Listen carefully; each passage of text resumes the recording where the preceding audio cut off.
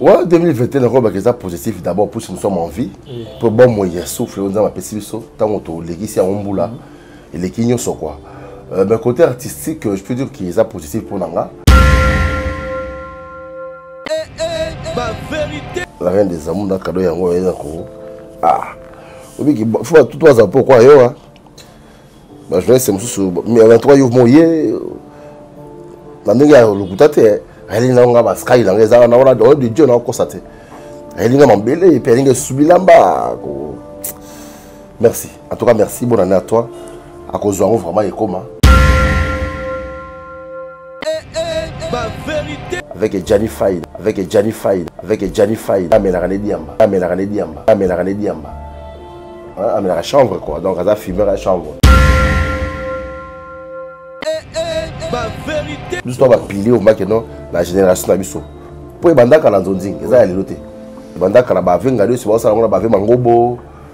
eh, bave ko bave nani bave bale mondial à l'époque déjà ngo basangisa salongo babengi moto moko ya nzoi babengi moto moko ye pa venga dios na inga venga dios bakei basali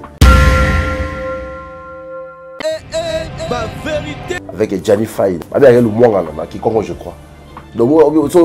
peux ça il va comme on a de friends de on a Al Pacino. So tu es comme on tient comme on a le Mwanga. oye akabolaka bato eh, eh,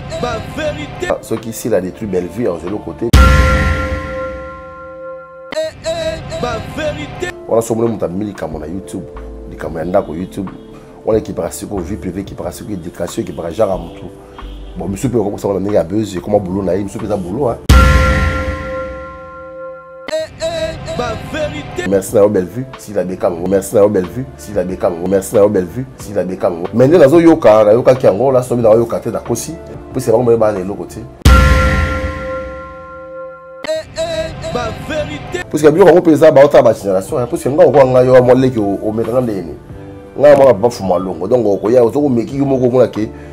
okotutaka na mur oza comprendre eza bagénération neti nga moto akomeka nga bongo ntango soso bajani ameka nga bongo obe de faire soki tomina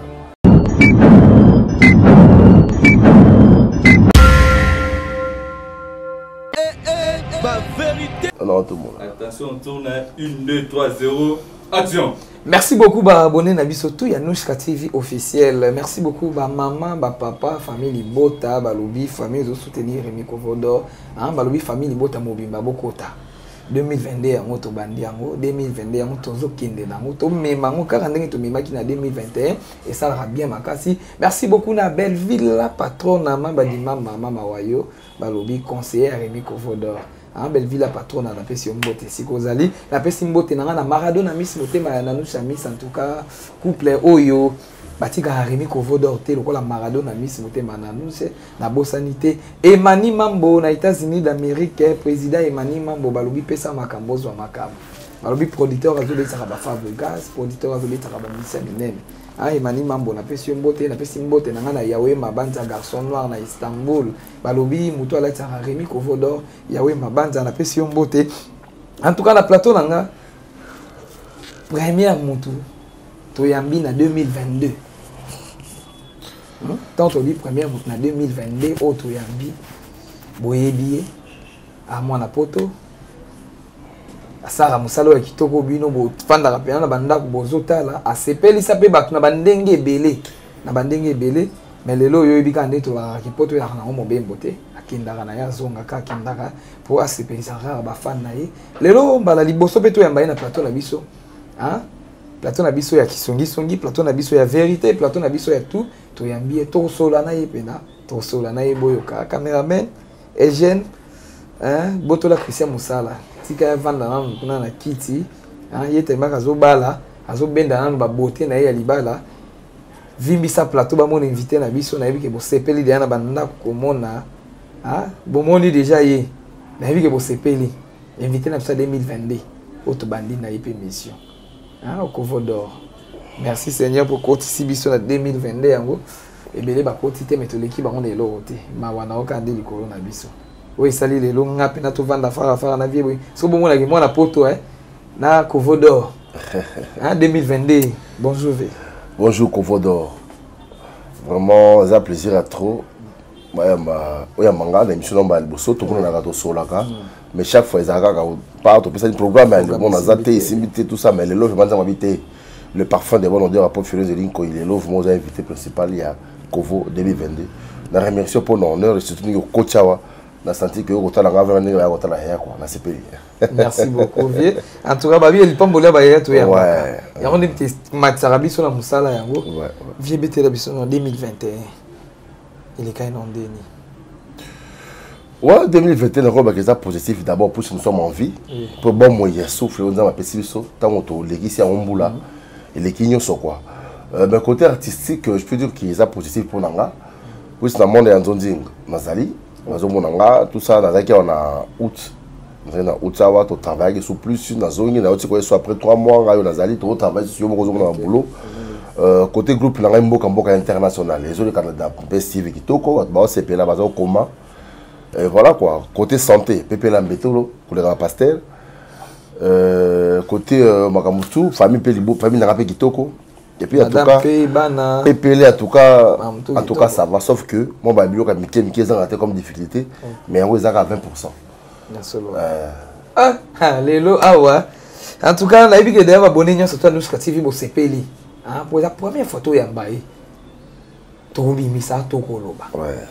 na monde yango oyo mm. poso tobi totuna ve abandanga ndenge nini en tout cas leka deya baémission boyebi déjà eh. boyebi déjà mais tozwaka kaka mwa mokie po eza na babone na biso mpe eza mpe mbala liboso mpe biso atala émission ya vie mm. eza mpe na bato mosusu balingaka moko kotala baémission te metango akutani nango mm. a ah, bandaka nde boye asalaka nde boye yango moni te kovodor nazwaka ata mwa minute moko boye nayeba vie obandaka ndenge nini elengi ya mosala yango ekotelaka yo ndenge nini en fait nga nabandaka place kaka moko naza kaka na patron moko na vie ekolobaka batéâtre ekomona ye ngai na ngadiosio moto mopretre napesi mbote place ayali na london quoi epai ya ngade na ngadius nazalaka dabord nazalaka camarade mpo nazalaka naza camarade ya leki na ye avant dernier na bango komona ye charles olanga katondi namandaki koya na palais epai ya vie epai ya giclo ya la fin de compte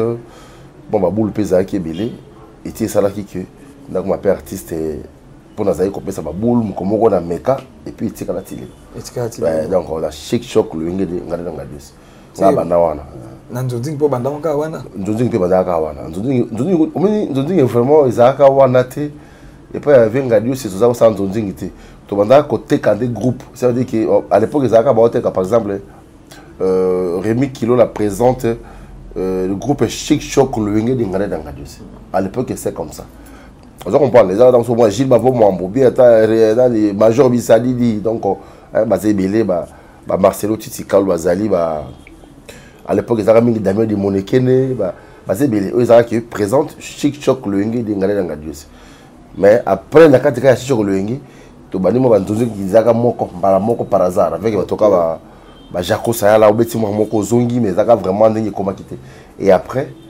toyei kokota na monde yango vraiment quoi biso to bapilier omaki no na génération na biso mpo ebandaka na nzonzingi eza ya lelo te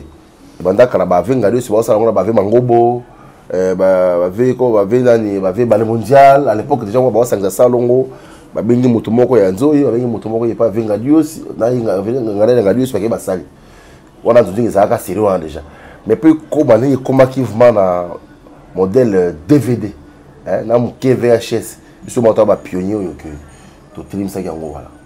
kotala nde bozali ya bacassette na lelo oyo youtube okoma prefere ndeti nini bon euh, na preferaka cassette pourquoi ba dvd ezalaka kitoko makasi euh, puisque wana baoteka vraiment bino koteka bino vraiment ke moto aomisa espèce azosomba bino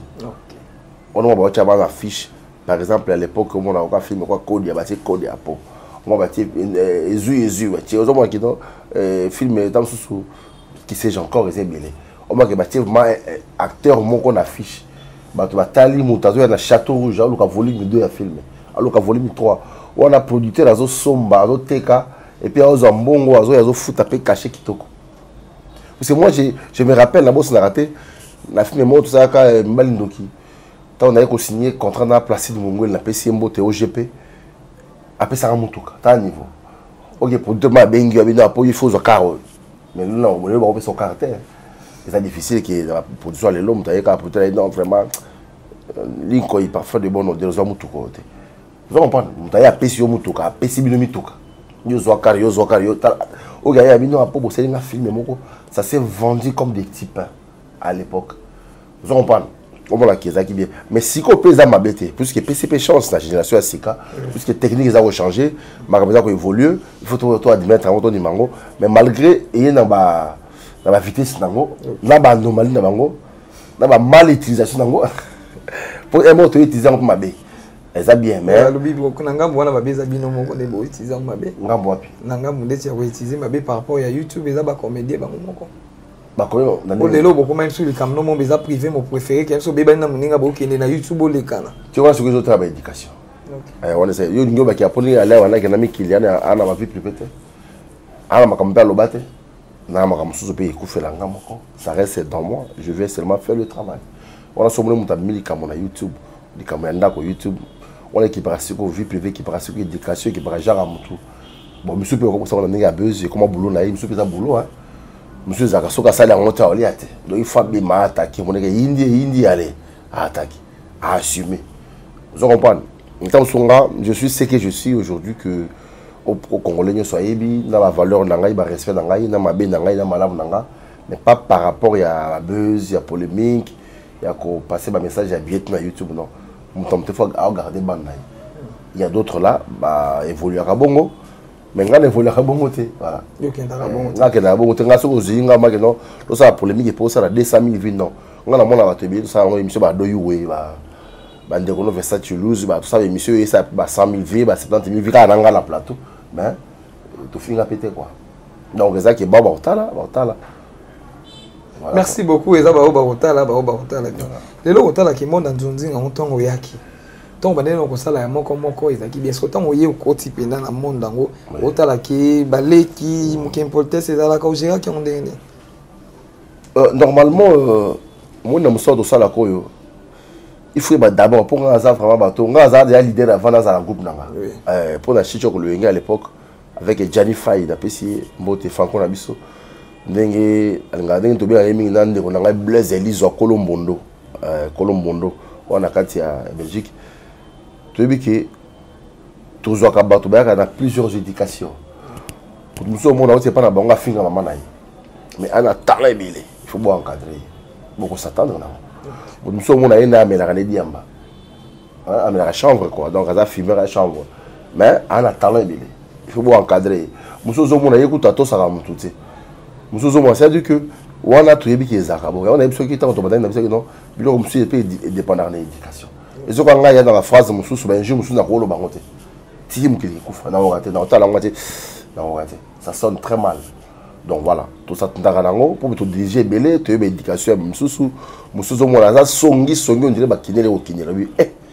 donc nzambe apesa badon ya évangélisation ya baprophétie ya banini mais omona moto na do ya songisongi mais ana atala ebele moto na do ya lumwangana obi lumwangana ya nini so moto apanzaka bato babeyaka lumwangana na kikongo je crois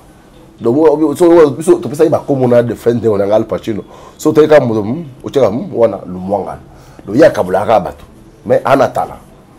donc opana eh, mosusu mpe anatala mpe ya ya lokuta ya mensonge donc soki aye abandi kokosa awa donc ye moko tuku akoki kutu kolela mais aza na talent ebele mais bosala nde nini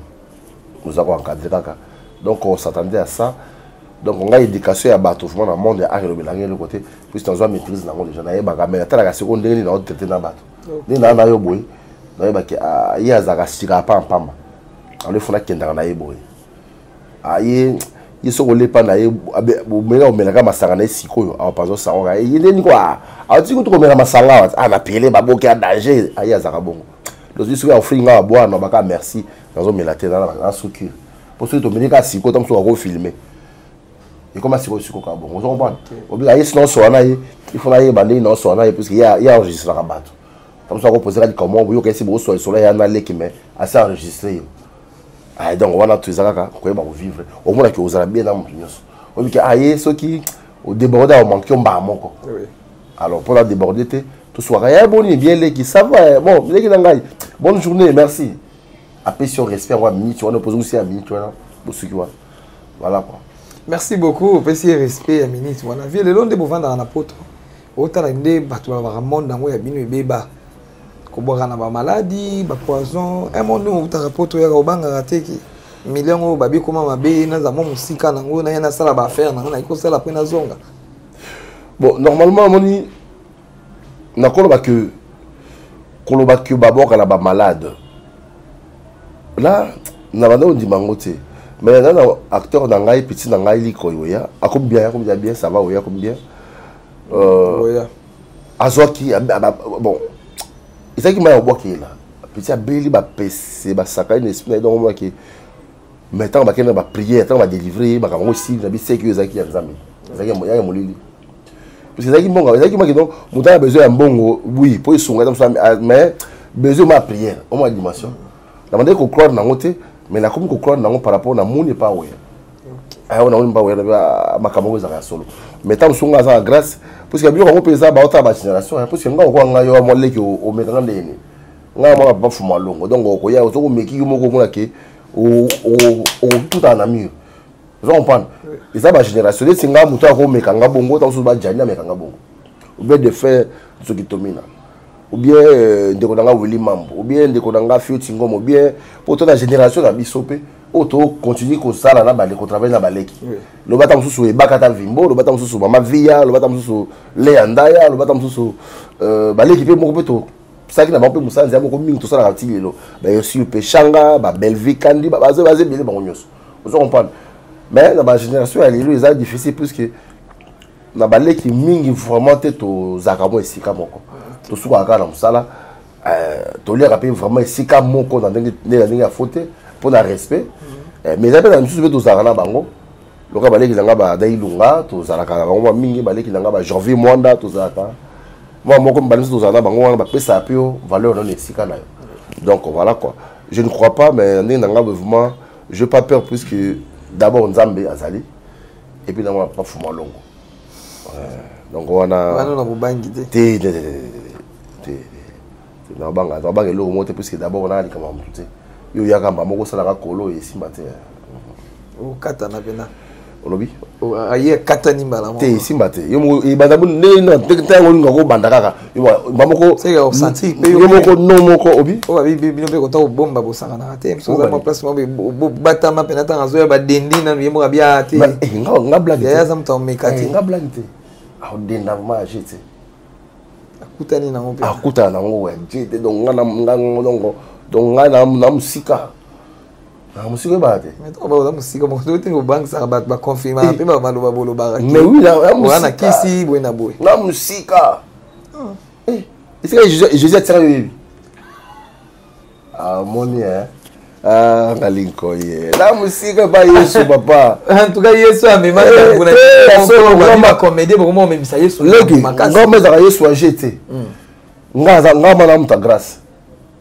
ya grâce nga ba nga na vie na nga namona ba kabal mususu mais nga pona lobaka te namona ba kabal la vie mo ba selo kabal mais edendi histoire vrai nzambe otala nga basala bla nzambe te o mbula suka ti tokoma mbula suka boye age ebakisa maboye toza kaka biso tokoka masi na nga dadi dikamba na kanisaka ye mingi ya biso ya ba vhs to ba dvd te dvd eblokaka pa mpamba omonaka ebloke omonaka ebloke mais vhs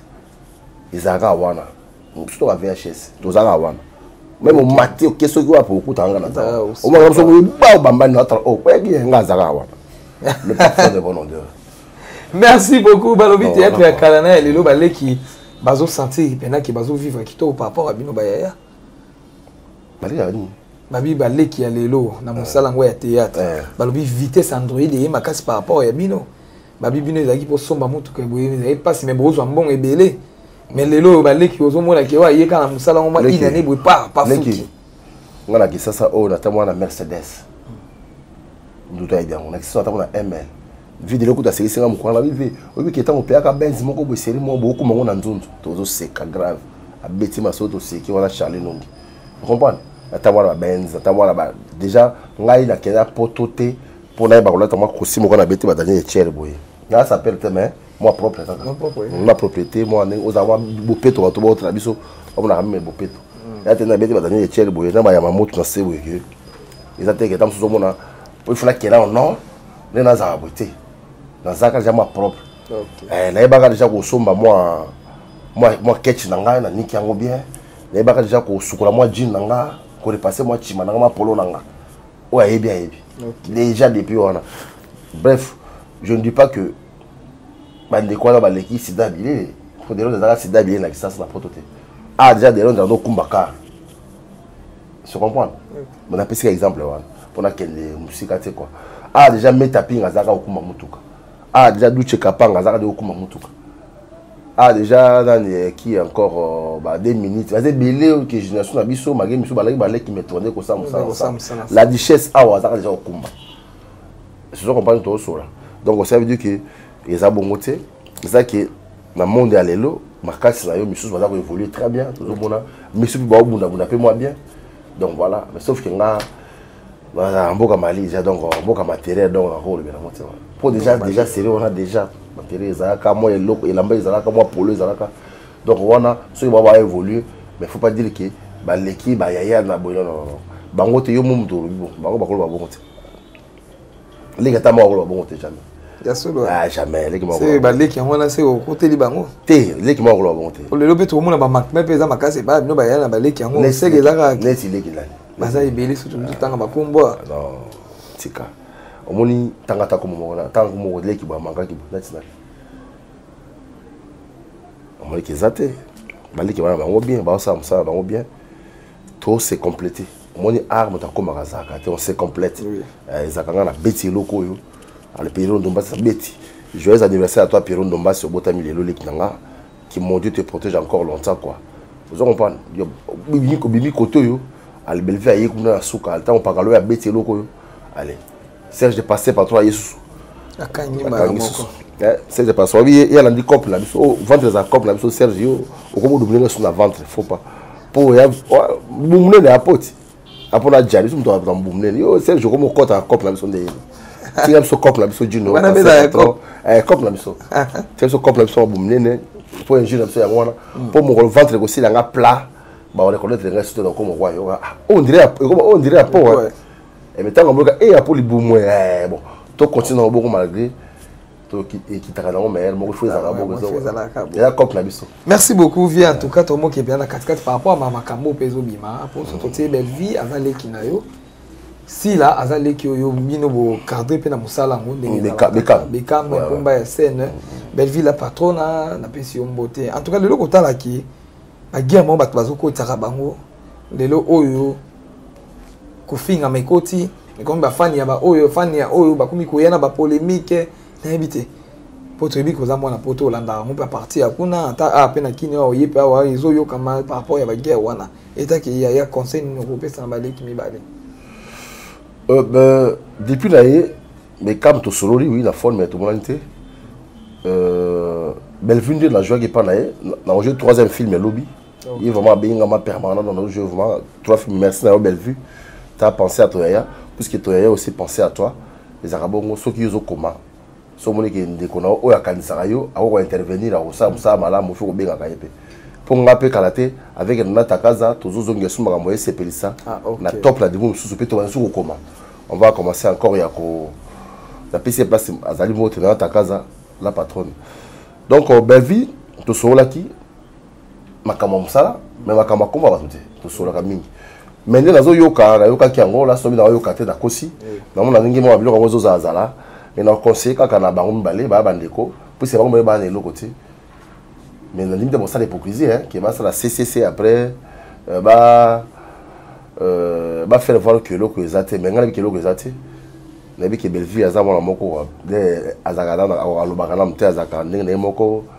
sila bekanga wana leki na ngai mpo sila na travaille na ye biloko mwa mingi ya ngai mm. mingi na ngai so na ye à l'époque ezali te bayesepelisa dernièrement boye azozanga te ozobenga ye aza kointervenir et puis ça se passait très très bien bref mpona nakenda yango mosika te eza bango mibale baencadre bato basepela na bango bato balingaka bango bafaire voir bango ke baza une famille euh, polémique ekoyede bango baévolue vraiment te ekoyede bango baévolue te puisque ntango euh, yo odétruire ndeko na yo ozwa mo mpe eloko te eza kwa soki sila adétruit bellevue akozwa eloko te bellevue adétruit sila akozwa eloko te ok bango mibali jetuka bake bakobomana eta mosusu bato baya nsima na bango basalaka polémique na bango peut-être baocroire que ekofaire avancer chose makambo non babongisa ecriture ndenge eza kitoko wana balakisa soki ecriture kitoko makasi basala mosala esu kitoko kwa baosala bango mibale bachaine na bango ezo kitalama bien baévolue vraiment conseil ali baoriente kaka bato na bango bafaire vale bango ke babiloko na basalaka oyo bapolémique eta mosusu bazolukela bango nde nayokaki balobaki botutututu ça va nous avancer à rien donc voilà quoi ba aider bato na bango ba orienter bango vers les bons chemins mpo na mosala eke malamu napesi bango tu mibale mbote bana napesi bango mibale mbote etaki mpe vie ye mpe na motu moko na théâtre oyo mpena otalaki botanganaka mpe te mpo christian ayebi ye hmm? christian ayebi ye tinga aza te ya solo aza te ntango akombo kaka mba moko to na émission na bakeni toavanatanga ifo aza te aza te aza te nga motu nyonso nazala bien na motu nyonso nasolaka na motu tu naza sans kina mwana nzambe mais sauf ke nazala so likambo yali nayebisa yo eh, nga soki motu moko aderaye na émission ateni bapropos oyo esepelisi nga te contre ngai nakoya na koéclaircir na même émission me na koexplike siko makambo oyo olobaki tala eza mabe ezali nde boye eza nde boye sans pourtant azala problème na yo nga azala bongo mais que kozala na heure raki na moto je suis pas éduqué comme ça c'est 2022 continue oza pete pepele donc euh, pepele pepele pepele donc euh, sans problème ya moto yango omoni napesi base na nga to ya liege mboti bandeko na nga nyonso oyo tozalaka na bango edo mapuya ya edo mapuya papa na roleans napesi yo mboti eh, sans oublier motu na ngai euh, euh, euh, elvis impanda pandaski le producteur napesi yo mbote napesi mbote na richard masumbu le king ndenge kaka ezalaka olivier kabangu napesi yo mbote na obosana jamais bonne année à toi olivier kabangu euh, bonne année à toi bruno kasambo bonne année à toi euh, bino nyonso boza ebele r9 r9 pesi na ngai r9 maître kudu donc malem malembe tozoya faut kopesaka bino kaka badedikasi le sommet d'himalaya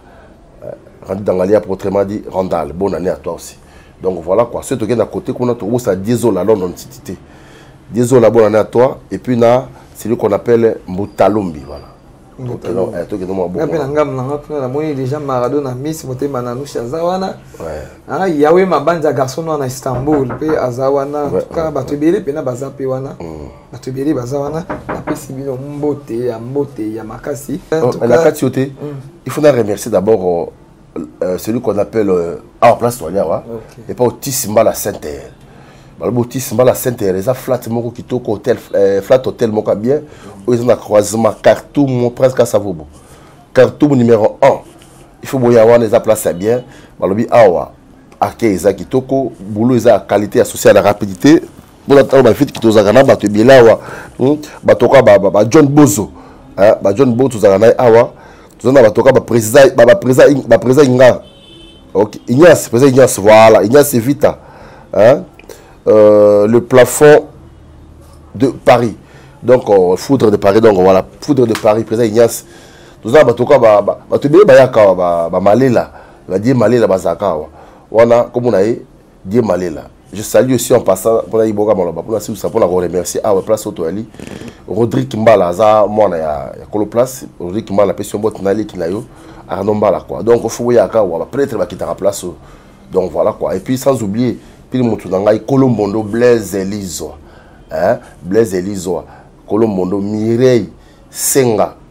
de valeur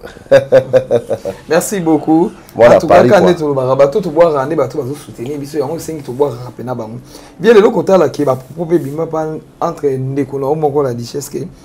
poto toyaka ezalaka toya kosakana na bana oyo babimi lelo lelo nayebi te vie mpe kolonga no poto eyaka mpo kota na baje wana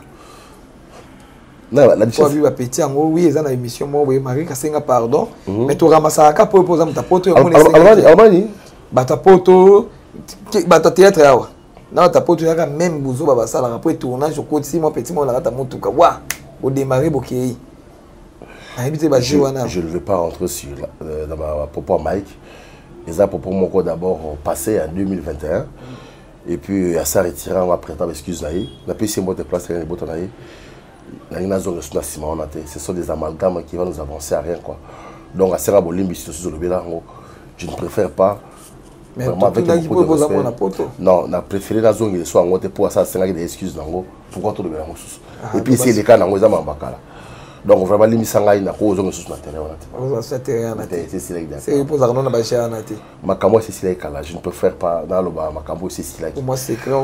omona 2022 naosala filme mo bato bakotala yango filme wana ya misiki non je suis sikoyo mokombo so ozala acteur principal nyama donc deux fois te mokombo so ya nyama nyama aza ah. acteur principal en tout cas christian apesa so cadeau na biso toyebi pe te mais mère kuna azali la reine des amour azali napesi mbote la maman d'harrison et roles leki ya mimo botuli leki ya bebe botuli bandima na bango mpe kaka bongo eh? nga aza comédien ya liboso sipa ya liboso nayebi te oyo abandaka kotanga mwasi na ye na televizio na nkombo na ye bato oyo ayebi ayebi bana poto bayebi mais kado na biso yango oyo toyebi te soki ekoma epa na yo nde soki ekotenga mama mopanzi ya mosusu ekokweya na avion toyebi te mais ta ekovo dor eh. demi super yango topesaka bamama na mwa respect na mwa poids na mwa kilo eh. toyebi ke mama kootongisa ata mwa elamba evandi mpena bwa bia te ezozonga totila bilembo toyaka mosala ofele te ok ça va merci beaucoup nakopesa ye cadeau na ye la reine des amour na cadeau yango oyo eza ko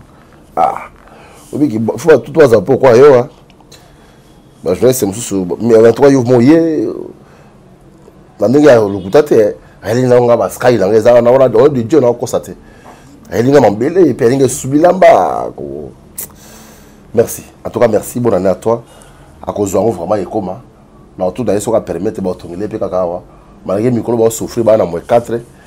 tanga na kid na na mwa chaleur c'est bon mo mpe pese obeta yango okimaki ye mpe nako obi te yo mo mema charge wana ngai na ya nazwa charge ya te bacharge ndeti bete na bango wana malili na bango wana te biso ya biso biso biso mpo tozala bongo te ntango mosusu ye mpe akenda nde mpe paris akei makambo moko bazongi mbango ntango makambo mosusu yali awa apart makambo oyo tozosala ya teyatre bango mosusu mpe ya famille ezali ntango mosusu natonga mwa brike ezomata nde fana biso kaka balobaka te noma mosala eza ebele oke kiba na mbango basi bateki disaki ya nsima yo ye mbango ya kotala te eh, lelo nde bato balobaka poto vie nde balobaka ke poto ezalaka cimetière ya bacomédien uh-huh. ese eza mpe mambo ya solo senga akufa te babiso boke kuna bovandaka mpena omona bovandaki bo non nakufa artistiquement c'est ce que tu veux dire nga akufa te nga nasalaka mosala te edépendaka na ndenge azweli mosala na ye mais comme moi tout le temps ça révolte hein? dans moi il y a là quoi ça se révolte tout le temps donc on nga tout le temps ça comme ça nga pepe la mbetolo donc wana nga na yebe yango te soki bo bayebisaki yo bango bayebi mais mpo na nga bo ndenge balobaka misu mpe okebe poto otiki okomi na yo koluka vie pusi omoni mpe mosango mpe ya teatre efutaka vraiment mbongo soni ezalaka te tosala yango mpe mpo na passion ntango mosusu ngai mpe depuis natiaka bafilme na ngai na na pes tv nakomi kutu nabuna alongo natika na ngai nasalaka banzoni na ngai oyo mpo na kosala mpe epa ofutaka deya chaîne batournage banini tu dépense trop so okalkile yango mpe mbongo ebele ene moko mpe natika na ngai mpe comme les autres ont laissé baoperde eloko te mais par rapport à chaîne ya youtube eza te chaîne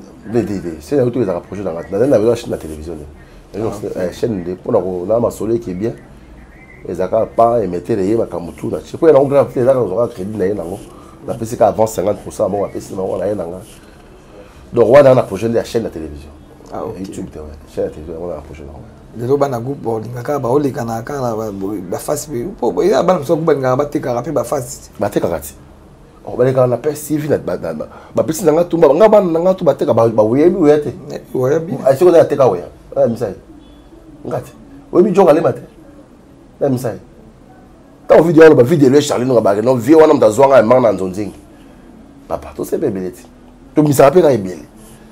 malgré parmi bango biso bayebi baingra mpe ah, ingratitude mpe eza mpe makasi mais tozolemba te tu comprends Etaki vie 2022 osenga na ba comédien botambola nde par rapport ya musala par rapport ya ezaleli par rapport ya caractère kobongisa mpe mwa mosala mwa c'est un peu difficile koconseille baartiste na télévision boye koloba puisque il y a d'autres euh, bazwaka yango mabe ke tu feu osa moral tout ça biloko eza ebele mais atili que bolingo kaka bolingo na nyonso bolingo na mosala na bolingo ya bomoto wana asenga bongo vrai amour ya mosala na vrai amour ya collègue na yo yango wana kaka mpo soki olingi mosala na yo okosi sacrifie pour tout so olingi ndeko na yo obwakele mbasu te otonga ye te ofinga na émission te osala tout te mpo soki bolingo esanisa tout mais eza siko vrai voilà eza te nde bakomede bamipesaka ndenge ya mokongo papa wana ezala partout ndenge ya mokongo surtout epa na bino ekomi trop ya bajournaliste te bajournaliste te bajournaliste tozwaka message eutachroniqueur entre vous les chroniqueur naza na misato jour wana batongi do bafandeli ka basisi baninga loposo towangi nase wana ena oyokaka bango basisi baninga loposo surtout nani oyo basisi nani loposo nani ah non nani oyo non non non batongi nani onga bi nani oyo ifete omisa lolemo basisi oh. nani oyo loposo onga bi e nani oyo vraiment mawa tokokana bacomédie mpe place moko bovandi botongaka makasi olobi bacomédie mpe place moko bovandi osantike ah me mikolo mwana obeta biso makasi e soki nga fana luka na bakisa lisusu talent eh, wana bien hmm. wana na ndenge ya bien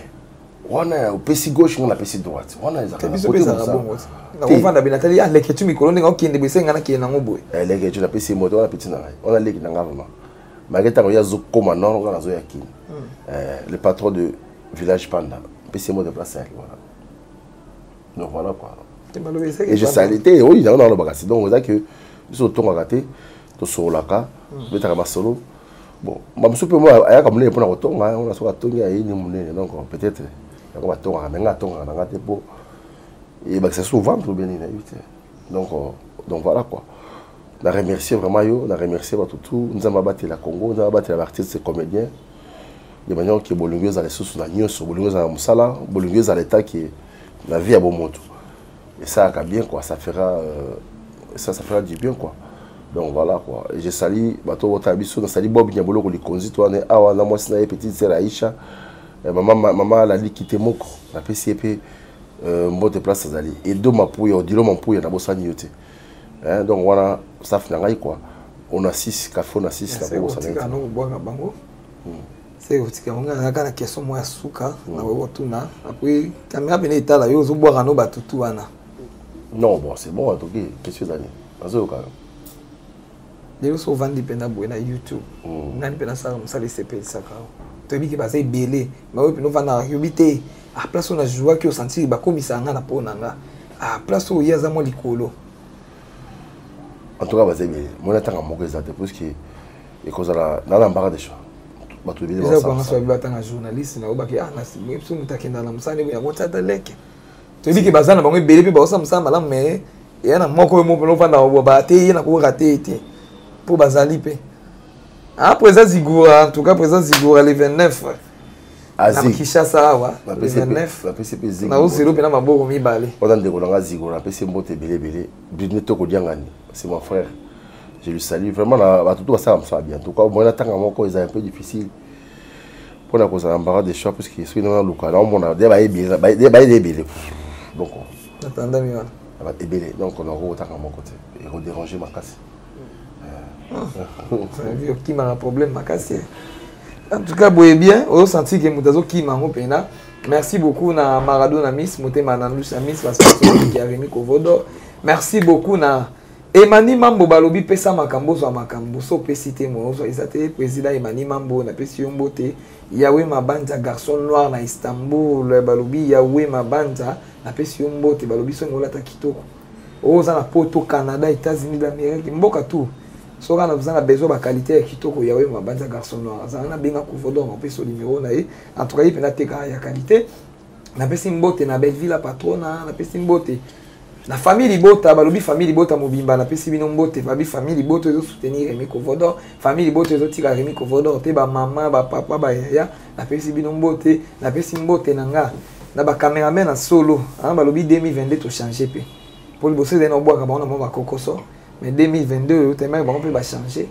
Hein, Christian aza wana balobi nouveau marie kala mingi te bozomona na lopete alliance ya monene abi oyo balataka na bango baalliance mai kovo bokosa oyo anga pene ekanga loboko mobimba eugène balobi moto azoya azomenase christian na mosala eugène azocoince ye kaka boye merci beaucoup na bato tu bokontinue kolinga remi kovo dor esalaka bien makasi nga mpe nalela bino fort nalela bino fort vieux nga na kotelema na nga oyo te nga kaka mwa remerciement rapidement hmm, te nga naotikela nde yo mwana bakiselo kaka bakisela mikro waka bato wana mpoza mwa alaise mwa alaise ah merci vraiment ayaya kie na ngai eh, vraiment merci na yo mpe kobo euh, ah, merci vraiment napesi bonne année na fondation leo kamango leo kamango eza fondation na biso ya kitoko esala makambo ya bien tosalaki descente mpo na kopesa sourire na bao bazangaki le 25 décembre epuis baprojet eza ebele mpo na leo kamango euh, je sali pati kabesa le gourou de la secte mon ami yoyebi kaka pati leki aya desi kabesa napesi bino mbote ebele euh, na remercie vraiment bato tout oyo bayambaki ngai neti jeune frère na ngai na nkombo ya elvis ekilolo elvis ekilolo toyani awa na flat deux fois te na flat otis mala saintere eh, otisi bala sentere papa epa papa rodrigue mbala des fois te na carton toujours toza koinsiste fo boyaka awa tozali awa quoi donc na remercie les affres les affaires miquin to wana mpe awa vraiment na remercie bato ebele boza ebele bango to basoutenaka le parfum de bon odeur emile eti tonti emile eti tonti nakobosana yo jamais ndeko na ngai nakobosana jamais descanto mampuya descanto mampuya mbotino yango wana eh, staff na ngai nyonso na kati ya bruxelles bino to bozali wana nabosani te mireille Mireille camarade ya eh, ya ya Rosette Porsche bana ya Belgique eh, bana ya Belgique ekona voilà donc euh, après tout bato tout diesola à Londres nakobosana jamais nalobaki déjà Yems Delta na kati ya Paris avec Mbuta Lombi nabosani osu te jusqu'à Ringweke eh, jusqu'à pesa bote na Kams loba on est ensemble l'aigle de la coiffure parisienne merci beaucoup c'est le parfum de bonne année bonne année na bato tout pe o balinga ngai ezala na côté ya london hein, mboka ya ba elvis ekilolo kuna kuna badedembi ya les billionnaire bazali kuna bamoli mabasa ya na ngai ya leoni makumbu boza kuna ebele bavinga dios staff tout bapichu ekenga fredi bulukutu donc atuka boza ebele boza ebele jani fai na libota mobimba vraiment de vos suki na basisa balingi bino mingi merci